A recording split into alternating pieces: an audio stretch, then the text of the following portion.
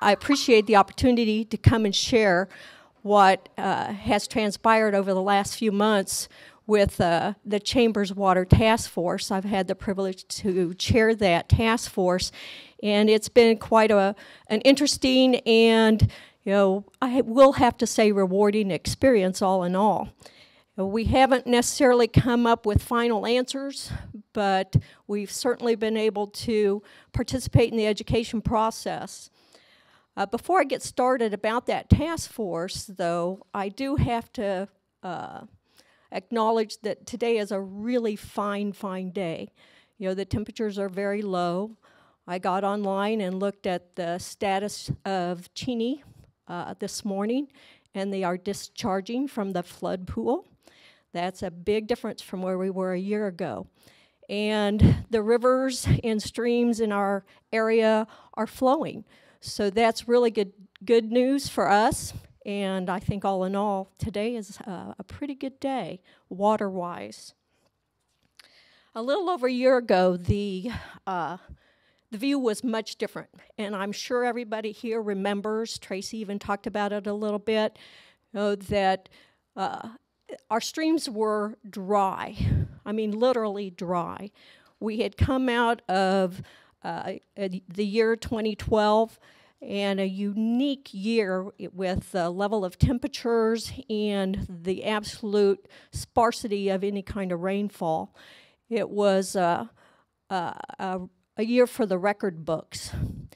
And back in February of last year, 2013, uh, I think most of us saw the article in the Eagle that showed the picture of Cheney Lake that made it look like Cheney Lake was all but dry.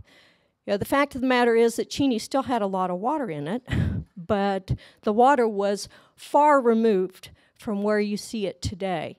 So that was alarming, and uh, it got our attention.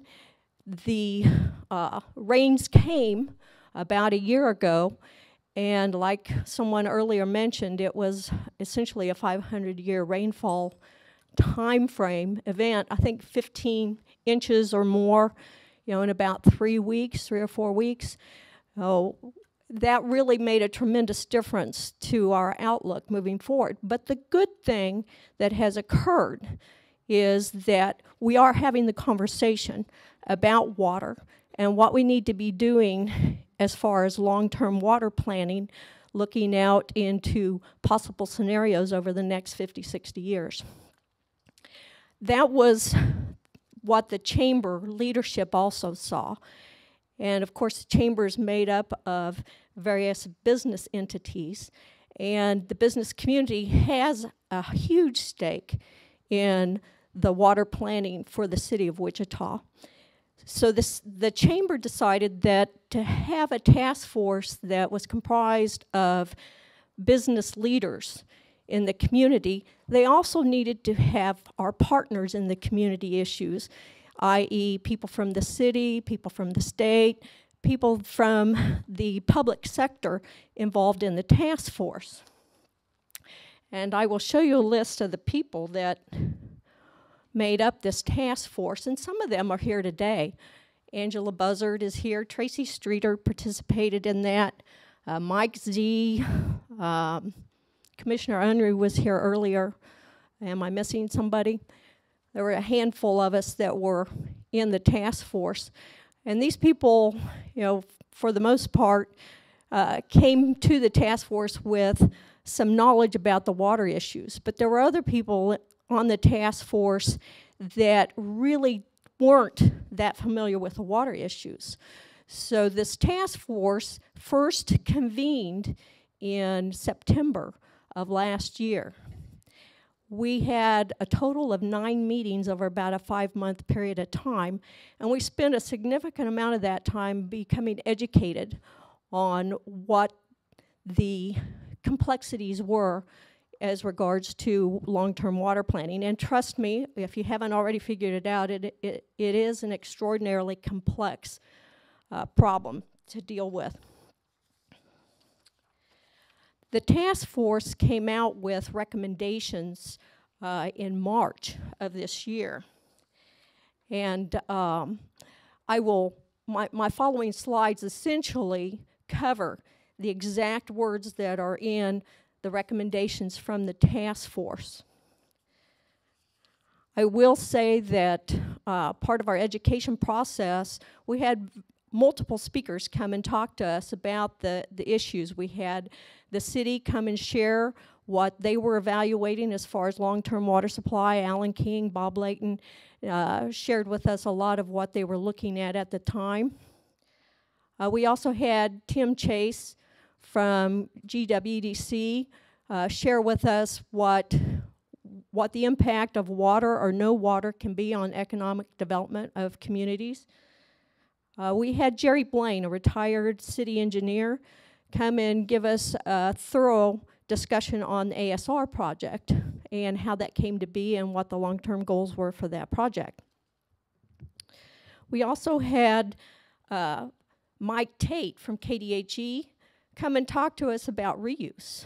And KDHE you know, was really uh, in the in in the very beginning process of evaluating what it would take to uh, implement reuse on a meaningful level here in the state, and they're continuing to evaluate that. Uh, Tracy Streeter shared with us the state issues and how that how that plays out in South Central Kansas. And then we also had Toby Dougherty, the city manager from Hays, come and share with us what Hays has done insofar as conservation measures at that community, and they've done a lot. So we had those people come and talk as guest speakers to us to help educate uh, those of us who needed to learn about the, the water issues. Uh, our findings uh, and I'm not going to read these to you, but we did a summary uh, at the beginning of our recommendations, and you'll see bullet points here in a minute. But primarily, there were some key elements that came out of all of our conversations during our meetings.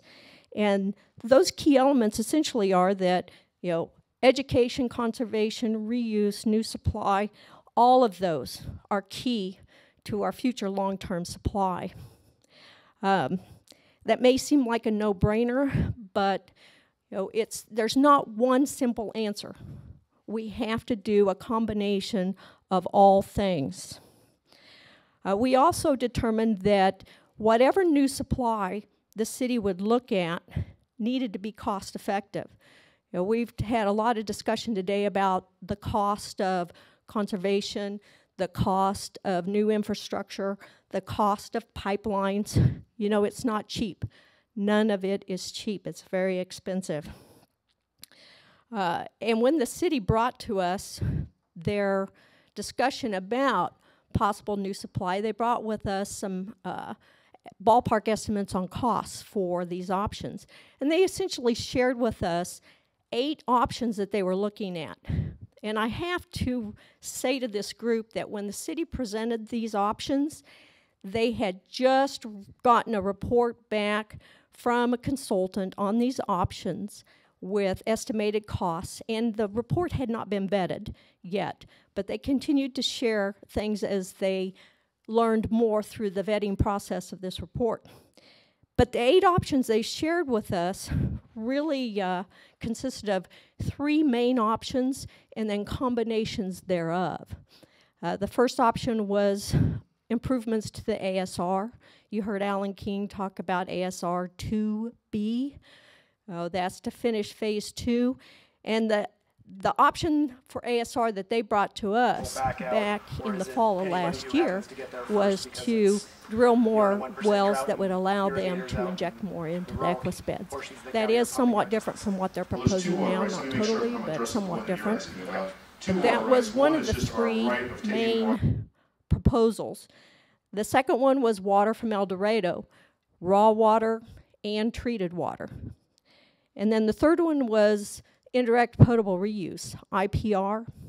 And that proposal consisted of you know, drilling wells uh, south of town near the banks of the Arkansas River and pulling water from that alluvial aquifer and sending it up to uh, the ASR to treat and inject into the Equus beds. And uh, those were the three. The other five, as I mentioned earlier, were combinations thereof. the costs for those that the city provided us at the time ranged from $288 million as the least expensive option, which was the ASR option, to just under $900 million, which was a combination of everything. So the prices ranged significantly uh, depending upon the option that, that they chose. The good news with all of this is that we do have options. As a community, we do have access to a new supply. So that really is the good news. But moving forward, the actual recommendations that the uh, the task force made was, you know, you heard some discussion multiple times this morning about 1% versus 2%. Well, the task force recommended that in the planning that the city does for new water supply that they use the state requirement of 2% drought planning. You know, that was not unanimous amongst the task force members, but uh, the majority of us felt that 2% was the right level to plan for. You know, that really is um, a decision that needs to be made by your acceptance level to risk. You know, if you're looking at uh, a 1% drought scenario, that's the Dust Bowl days type of scenario, and you know, we all have seen pictures of what that looked like, and it was pretty dire. So it really becomes a question of what level of risk is acceptable to live with. Uh, the second recommendation that we made was that the city get very serious about conservation. And included with the conservation piece, which you have heard ad nauseum today, is the rate issues that tie in with conservation. The city really is in a business model today where they have to sell water to cover their costs.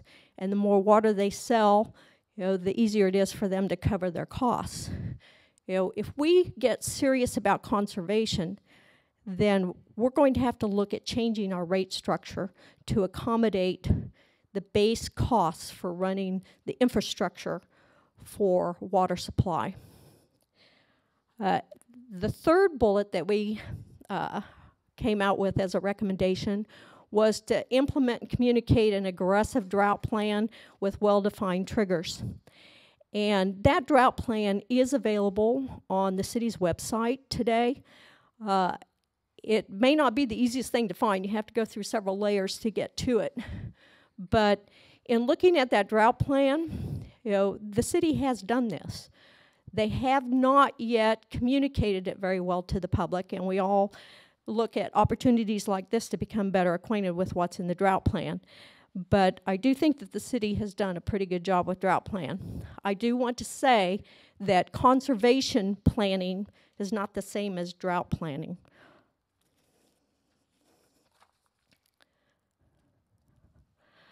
Another recommendation, and this one really gets down to a recommendation on what we should be looking at for new supply, came from the task force that uh, the city should look at raw water from El Dorado.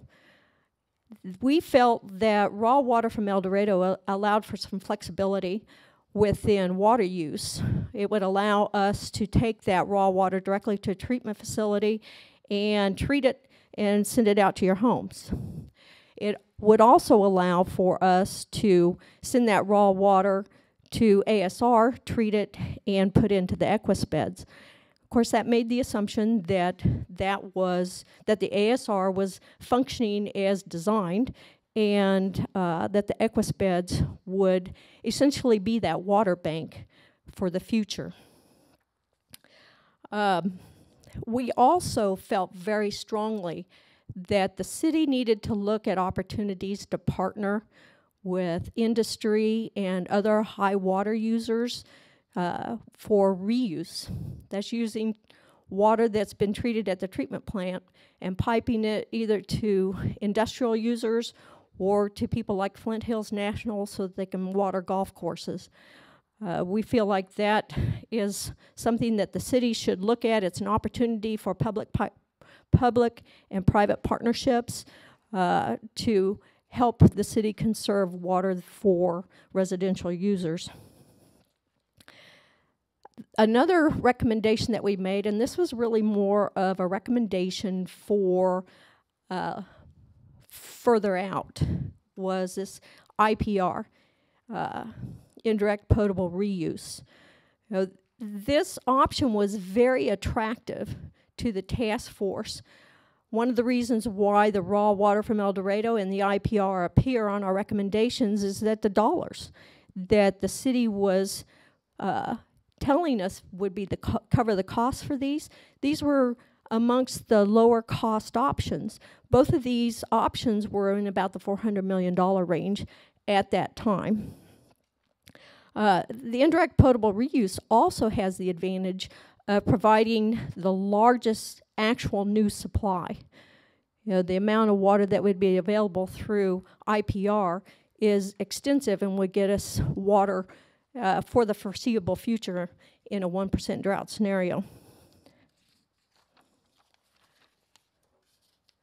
And finally, you know, uh, we thought it was important that uh, the city, you know, spend some effort on educating the public. Uh, there's a lot to know about water and how we can conserve water and, and what the issues are. And we believe that we as a community have to have to communicate well to our citizens on what those issues are and also to continue to identify new regional water supply sources moving out into the future. Now, we've heard the city has uh, moved forward with making some recommendations. You've heard it from Alan King about uh, the El Dorado options and uh, and the ASR option.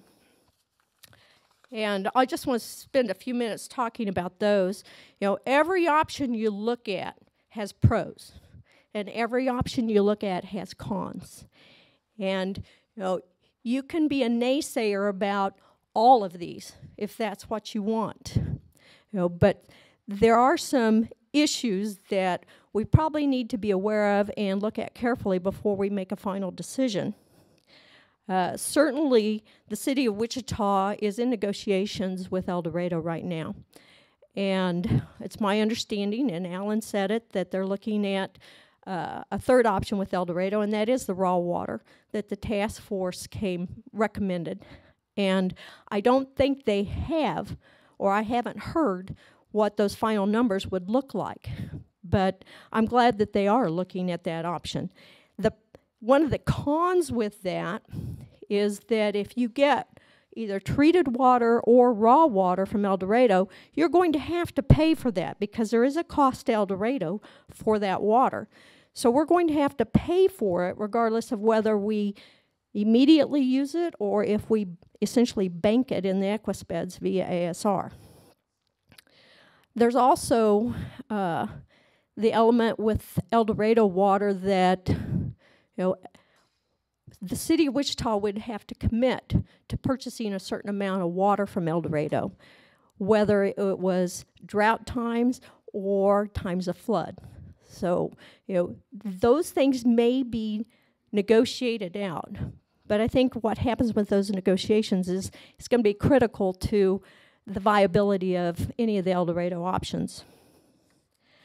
As far as the ASR, you know, there were changes made from what we, the task force heard last fall.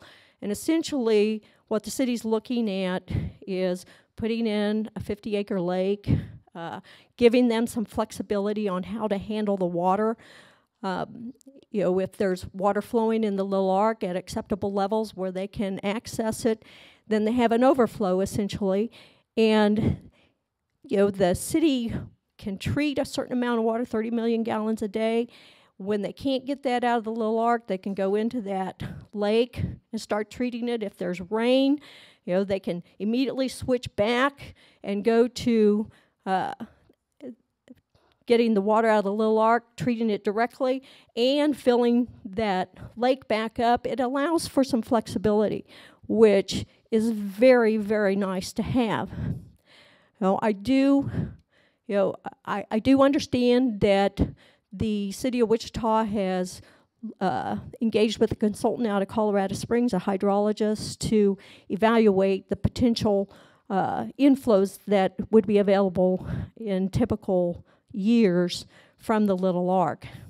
And uh, I think that I, I haven't seen the data, but they seem to be pretty confident that that, that is a good option. The other thing that's going on with the ASR option is, you know, there's some state level type of criteria that have been put in place with that.